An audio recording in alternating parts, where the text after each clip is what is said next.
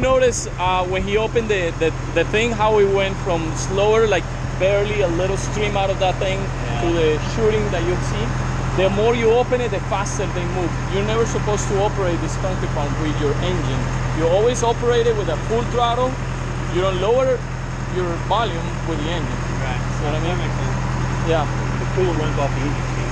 So if you lower the engine speed, you lower the coolant speed. speed for it. correct. Lot of a lot of guys thought, well, I'll run the engine half speed, but I'll run the volume all the way out. And you overheat the machine. Right. That makes sense.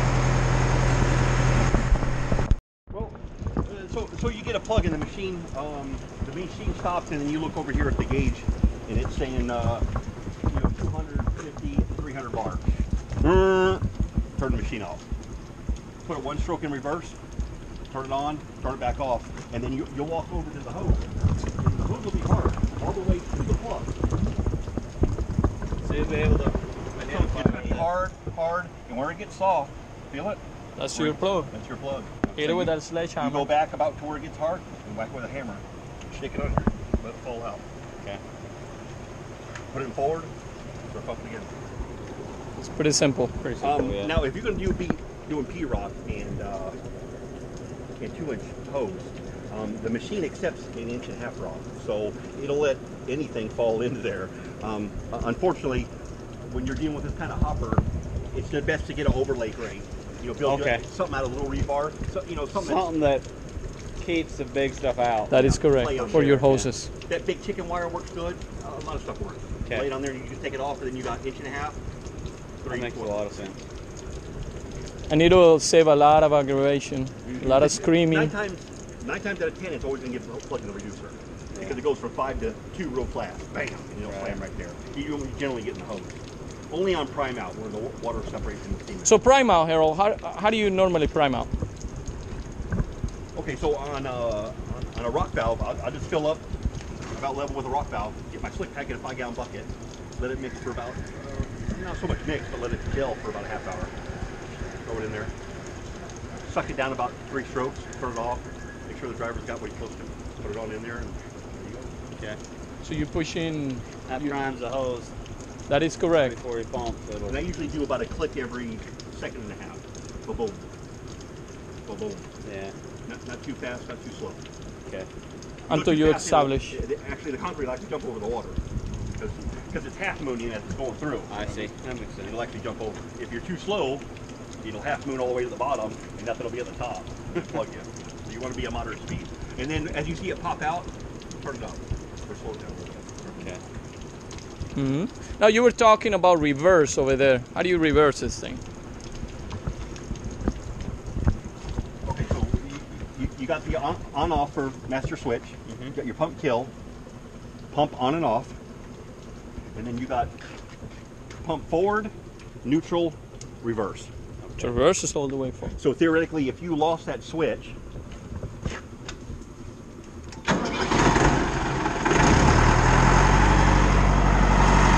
Stop moving.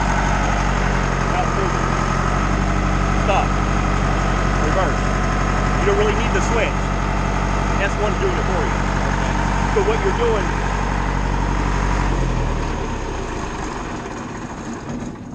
Theoretically, that switch operates the Schrader valve the solenoids for reverse valve. Okay. And it just turns it on and off with a magnetic coil.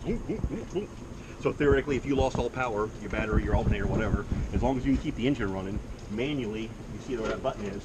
You press that, and you put it forward and keep up it. See the little button up there? Yeah.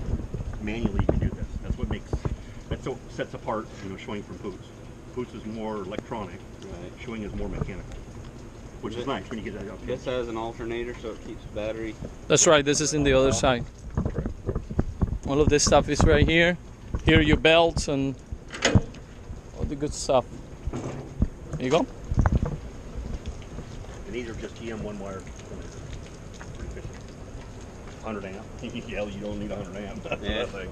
It's not pulling maybe two amps, maybe. Right.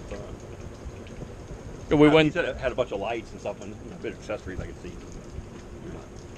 Trust me, the alternator will last forever. Don't get hot or nothing. And how many hours before you service them? Okay, so on the engine, um, you're gonna run. Um, we do a synthetic lead. Um, that's part of the manufacturer for diesels. And then you got your fuel, you got your oil, you got your air cleaner, right? That's there every 250 hours. Okay. And then on the hydraulic side, the same thing. Hydraulic filter and clean the fluid every 250. Now in this filter, it, this is just the the shell, The casing. the casing. The in, the inside is where the element is. Yeah, you stick a piece of rebar in there and bang it a few times and she'll spin off. No, Okay. It's just an internal filter. You have to call, call us and, you know, we're usually a day out. You know, so you just kind of schedule ahead of time, you know. Uh, Thursday I don't have a job, I'll do a service on it. You 'Cause call They don't, they don't do these filters at Napa, I guess. No, no, no. It's definitely proprietary. Yeah, definitely. No, but he lives. Where, where is he? you guys? Where, where you guys located? Southern Utah? Utah. They're not gonna bring that much in for a for a service. No, I don't you, think you so. have to call them a day in advance and we can get it to you today, Right. o- overnight. Yeah. Um, if you if you can plan it a week in advance, then it'll cost you even less. Three day, you know, shipping. Mm-hmm. probably 15 bucks filter, you know, doesn't weigh much. Um, now there's a low part on the drain um, because the, the tank gets hot, cold, hot, cold, hot, cold as you're pumping. You get condensation. Those water drops form and they run down to the bottom. There's a low part of the tank. You can see, you take it apart right now. It's actually got a V on it, and the low part is here. You see where the drain is. And then once a week, just a little, little bit out, just a little bit, not much. Just keep the water out of your tank. Yeah, That's right. Uh, um, these are turning 36 liters a minute. They don't take hardly much water, especially with Rexroth. German style, they Yeah. blow into it. And you take the cap, boom, that's it. We're done. I've seen a piece of hair. That's not bad. Mhm. Um, especially out of the rags, you know, like you wipe down a little piece of hair that you leave behind. Whoa, whoa, those are deadly. Kill you. Just like your blood. You get a piece of hair and you need to stop your heart. You know what I mean? So, uh, hydraulic fluid is your lifeblood. Um, we use AW46, so that's 4,600 hours theoretically you should get if you clean it once a year. Filter it. Um, take it all out. We filter it in a, a 55 gallon drum and then filter it right back in. So it filters water. Um, a moderate scrub. uh, Usually what I do is I take a brake clean and then vacuum. on the bottom stick. You shouldn't get much. Um, the only time you get contamination because it's a closed system is other than you, when you add it. So as long as You you pre-filter it. excuse me, If you filter your oil before you put it in. perfect. You save You have a filter of- card? What's that? You got a filter card? No, but I can get one. Yeah, because remember, bulk Sounds oil, like oil is dirty by nature. You know, the guy gets on the tank, kicks the, sees how much he's got, and slams the lid down. That's Right. getting dirt all, all day long. He's getting dirt. So uh, bulk oil is always dirty. Yep. Then we got greasing point, the most important Yeah. part of the I- I'll machine. get you a tube, tube of grease here. Um, it's high density, high temp. Yeah, make sure you don't buy that cheap stuff. Okay. Buy the best you can get, the red kind, high temperature. And uh, it's a little bit more expensive, but the long-term investment is phenomenal. Yes, sir. Okay. If you use that grease, you'll get your max life out of it. If you use that old graphite black grease, it, it just doesn't, it, it doesn't do well with water. Right. Um, you know, you, I don't know if you've seen those test things where they pull the hammer back and they bam, they slam it, they put a little water in the grease and slam it. The black stuff don't last at all. And this stuff is actually, it'll actually stick to the board and you pull it up and it's actually tacky. so, um, grease is your lifeblood on, on these rear ends. If you have me go back in it, it's five grand all day. Even though it's one bearing, I'll find something else. I guarantee you. that. You know, it always happens. I mean, people always, oh, you know, I, I'll pick that one bearing now. That's why it's always great. So, um, so you're going to do this um, every 50 yards. So when 50 leaves and 60 backing up, the grease. Takes about two two pops per unit. You got uh, one, two, three on the other side, and you got two here. That's, that does it back in. It does that back end. The shift fork, and then the outlet. Okay. And then you're going to do this. Um, if you can think about it, when you get done with the job, re- remember, so the, the concrete's in the hopper and it's always trying to come out. So at that bearing's turn, it's sliding into the bearing. So at the end of the job, you grease and you force that that C-meshes material, you force it back into the hopper. Okay. And that's pure grease. If you wait till you come home to the shop, it's too late. That grease or that grout has now dried. So every day now it's moving, moving, moving. Pretty soon it'll lock the bearing out. That makes sense. Yeah, the bearing costs you money. You know, there's a brass bushing in there, costs you two hundred dollars. You know, I mean, everything, everything like that. Nowadays, if you lose your shovel on a job, you're in the red. You, you know that. I mean, you, you're going to be at these jobs that compete with everybody else. You got to be on the money every day. You can't lose a point. You can't lose a hose. I mean, If you part- see a hose running through a piece of rebar, man, oh, I got to get that rebar out of there. You know, it'll, it'll probably cut it. You know, Mhm. you got to be efficient. You can make great money. you've got to be efficient. That's right. So What- this is at the end of the job. You're going to do this on all the bearings. Yeah. just just like I said, two pumps. You don't over grease it. You know, it's just wasting it. Just want to get that grout pushing out. Not You know, good. And then on the axles, of course, you're going to do them once a month. Or What- you know, if you do every thousand miles. One last thing will be the clean out. Um, when you're cleaning up the uh, rock valve, a lot of people don't know that they're supposed to throw it on reverse in order to clean it up real well. Yeah, yeah. So you, you got the uh, bottom. Uh, have you have you been around pump guys and watched them kind of clean up a little bit, or It's been a while. It's been a while? Okay. honest. So what, what I do is um, the, the hopper will hold about a good wheelbarrow full of concrete, full wheelbarrow, 11 wheelbarrows the yard. So when he when you get down to the corner of the slab and you you have 125 foot, you know you have a wheelbarrow in the hopper and you got a wheelbarrow in the hose. So about when he needs about two wheelbarrows, I stop him. I pump the hopper down, boom, boom, boom, boom, and see if he needs a wheelbarrow left. Okay. If he don't, then I add a little bit, pump that, and then stop. And then what I do is um, either put a board or tell the driver to get out of the way because it might, it might splash, not a lot, but it might splash a little bit. And some of them drivers get freaked out. Um, once I pump it all the way down, I see a little bit of air come out of the hose, stop. Fill the hopper up with water. and when with one motion, you don't stop. Once you start putting water through the hose, you don't stop. You'll separate. You stop. Okay. So you fill it all the way up. So you want a solid mass of water. Right. So, Pushing out. so when, That's right. when he's at the edge of the form and he sees water, boom, I throw it to the side. Now the water's just on the side and it runs down. Right. It's just going to be gray water. Bad. Um, some states require you to put it in a sock or something, or a, um, what works is a good trash bag, tie the end of the hose, and all the water and the rock will go in the trash bag, and then the water will go out, like leach field. Right. You can do that. Um, You get what- how much water I fill, I fill the hopper all the way up and I pump it all the way down. I stop. I take the trap door open. I take my reducer off, and then you're just going to have about a five gallon bucket at the bottom where, where the rock valve couldn't pick it up. Either to slide a masonry bucket under there or a five gallon bucket. Split in half. If, you know, if you're on the residential, most of the time you're on a job site. Right. You're not going to get much. Like I said, a five gallon bucket at the most. And it's going to be sand and rock. Concrete truck wash out on job sites. Well, yeah. here in Florida, they, they're getting a little tougher because, Right, because I water different. Our water table's real high. I mean, you can dig down three foot and hit water here. Yeah. We, we live in ocean. So, so um, in reverse, I'll put the water hose in there, and, it, and it, while it's in reverse, it's it's pulling the water in, and then when it switches, it pushes the water out inside the hopper. Okay. I just keep going, keep going, keep going, and if you look in there while it's switching over, you can see the whole S tube. I mean, I'm sorry, rock valve. You can see the whole rock valve shift, and you can see the light go through it. You know if there's any concrete in there. Okay. Just keep washing, keep washing, keep washing, keep washing. Take you about maybe five minutes. I stop, put the water in there, close the hopper, put a sponge in the reducer, hook it back up, fill it one more time up, and now that sponge will push all the sand and rock out of your hose. Your nose. Clip all the clamps off, boom. That's it. I leave, um, I, I, pull the reducer up and I fill the hopper up one more time. As that way you can wash your arms off. As you feed in the hose, you can wash the hose off and all that. You know, that way you don't have to stop and unhook the hose the last part. And I've already unhooked everything, so it's already coming on the truck. So the sponge, I guess that you just fill in the size of your hose, or do you Yeah, have a I'll- I'll- full size sponge, or Um, now, there's a couple options, you know. Here, they cost you about a dollar twenty-five. okay, You can buy a whole bag of them. You can buy a whole crate of them. And they're, they're real efficient. And as they get wet, they expand just a wee bit. So if you stick them through a hose, they won't actually go through a hose. You got to put them in a reducer. But as it reduces down, it takes it takes the form of the hose, okay, and it makes like a like a plug. I've seen guys use shirts and foam and kind of shit. I guess you know as long as I mean I've had to use my shirt before in a boom truck.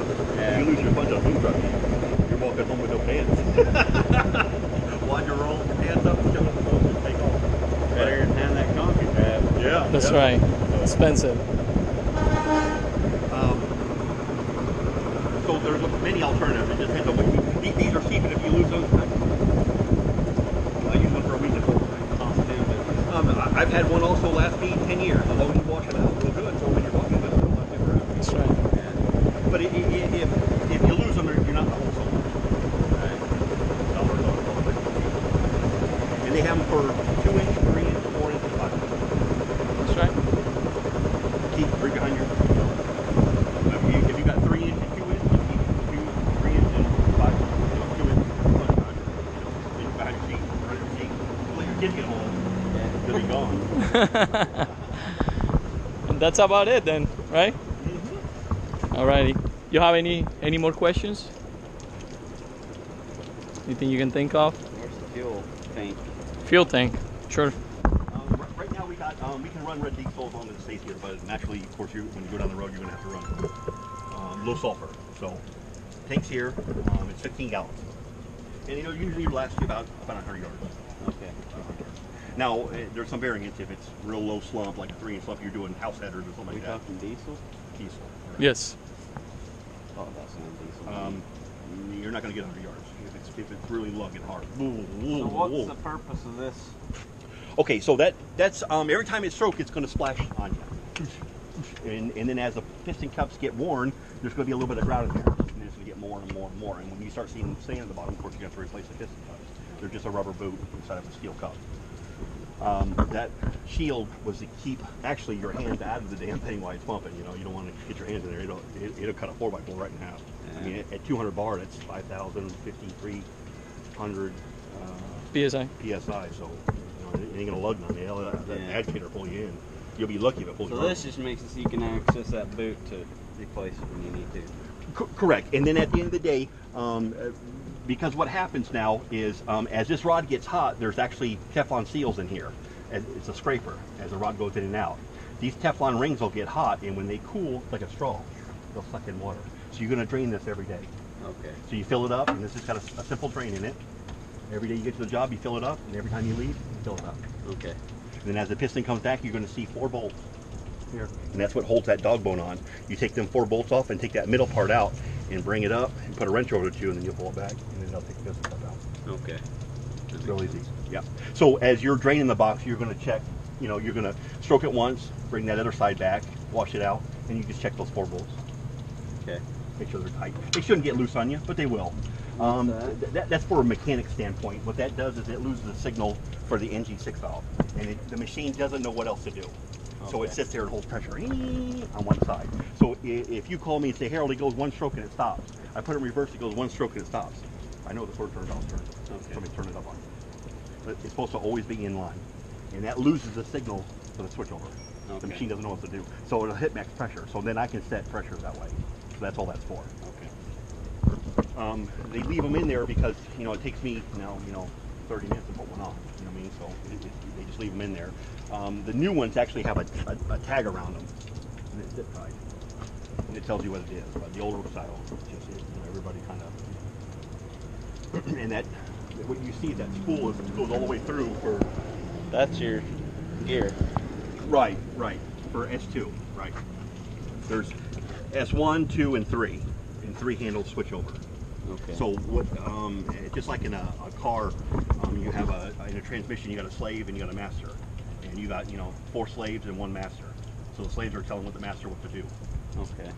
Without them, um, they don't know what else to do because this pilot pressure, as you can see, as that piston comes back, it shoots a little, you know, not much, 10 bar pilot pressure, and that return tells the brain what is next in relation. It knows where these pistons are in relation to the rockets. In reverse, it just reverses the sequence. Right. So if it loses a signal, which that quarter turn valve does, it cuts one of these off. It doesn't know what else to do. Right. So makes it's, you know, it goes through eight checks. Boom, boom, boom, boom, boom, boom, Has a boom. sequence that it Correct. If you lose one of the sequence, it doesn't jump to the next one. It just holds there until, until it finds it. Hmm. Mechanically, Mm-hmm. with pilot pressure. And it's using this pilot pressure from the main pump. That's where you're getting it from. On the newer styles, you're using it from a from a different pump, but on the Correct. older models, they use it from the same. Um, this is considered a single circuit, and they make a dual circuit with accumulator. A little different. Um, these put. Uh, I still got. I still know guys that buy boom pumps with single circuit. They swear by them. They shift a little harder, They're a little bit rougher to operate with the boom because you know you don't you don't that uh, compensating valve takes the shock out of it. You know what I mean? Right. So uh, they're a little bit rougher, but they run all day, all night. And I mean, like I said, these put Schwing on the map for sure. They made about a gazillion of these things. They still running today. I mean, shit. In the Bahamas, they're stock full of these things, all over the place, man. They- Hell, they built the Bahamas. you know. And you want something down there, you know, because you're the parts. You know, I mean, you can't get a lot of stuff. You know what I mean? So you got to have something that runs every day, every day, every day. And that's Yeah, I need the consistency, not the latest, greatest Mercedes Benz. Right, right. And when you're starting a business off, that's what you need, right? And then when this thing builds you up enough money, you know, you start buying a few more, and then you can either rest this thing and put it in the backfield, or sell it off, or let Mhm. somebody else have some money with it. You know, Depends on the- that's what they were designed for. A lot of them came from Germany, so and you know, Germans. whew, oh, oh, oh. I don't know what it is. Alrighty. So um, you got your your main pressure gauge here, and then your hour meter, and then you just got a simple oil gauge. Let you know when your oil pressure's getting low. The only time you'll see that light is when you know when you start it or you stop it. Okay. If you see it while you're running, you better yeah turn it off and figure out what's going on. Either you lost oil pressure, or you, you don't have any oil, or the, the pump is going bad. Okay. The lift, the lift pump is bad. The uh, tail lights are LEDs. Uh, they're submersibles. So they don't, they're not too bad on getting wet. Um, however, you can step on and brake on you. I mean, they're, they're kind of a choice stop. You know, where you you got to kind of watch laborers get up there. And you do have uh, steps. Um, forward, reverse on your agitator inside the hopper. Forward, neutral, reverse. Okay. you put let the grade up, put it neutral. Um, there's no safety on them. Uh, it's a little bit older. So, and like I said, it, at 200 bar, it will pull you in before you can stop it. It will. I mean, it, it seems like they're slow enough when you're looking in there, but Well, it's just really it- low gear. snag and a shirt, and uh, away you go. It'll pull you in. See some guy screaming, snagged his watch. He had one of them Timex with the wristband watches. That thing shot 300 feet in the air, but I finally let it go. Scary. It up, about had him in. It had his face next to the agitator. Oh man. Scary. when I started with them, we had five stickers. They up to 78 stickers, safety stickers. So every time somebody, you know, for the lawsuit, they got to add a sticker. So every sticker that you see, somebody's done. I like the, the, the one with the pump dropping on the guy's head. I don't know how that happened, but apparently at some point it did. But, but just you know, verify that the gauge is at zero, and, and when you're sticking your hand in, now you can stick your hand up to about in here, but I wouldn't go any farther. You're going to see where it, where it, there's a kidney seal in there, and you're going to see it, it looks like a kidney bean, where it switches over, and it looks like there's enough room, but don't. If you if you need to, stop and get a piece of rebar. Tap it a few times, boom, she'll pop right out. I promise you. Use your prosthetic limb to Yeah, yeah. Mm-hmm. I mean, I can't tell you how many times I've seen hoses cut off. A thousand, ho- a million hoses. Like, hey man, something on my hose. He's stuck in there too far. Bonk. Cut that thing right off. So, always, always stop the agitator. Um, always stop the machine. You know, if you're sticking your hand there, find stop. Make sure the machine's off. All right. Other than that, you, you got where you fill the hydraulic fluid up on top. The breathable cap. And for the service, how many hours is that? 250. Ah, 250. You got it. Perfect. So the main cutoff here for the battery. Flip that over. You start it. Turn it off. And you'll kill. Okay. And you turn the battery back off. That way, you know, keep from because uh, some of the coils on the Deutz is intercut. That's the reason why they got around the kill switch.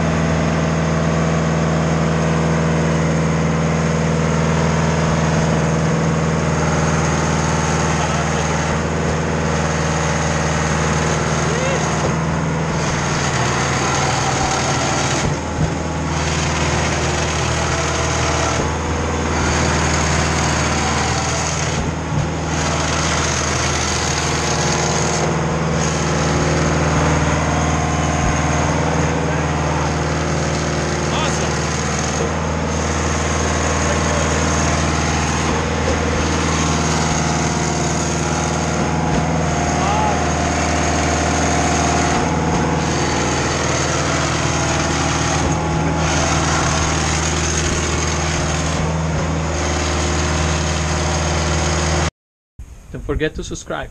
Also, you can go to our website, livequipment.com, and you can see a complete list of equipment we have available for sale. Or just keep navigating through this channel. Have a great day.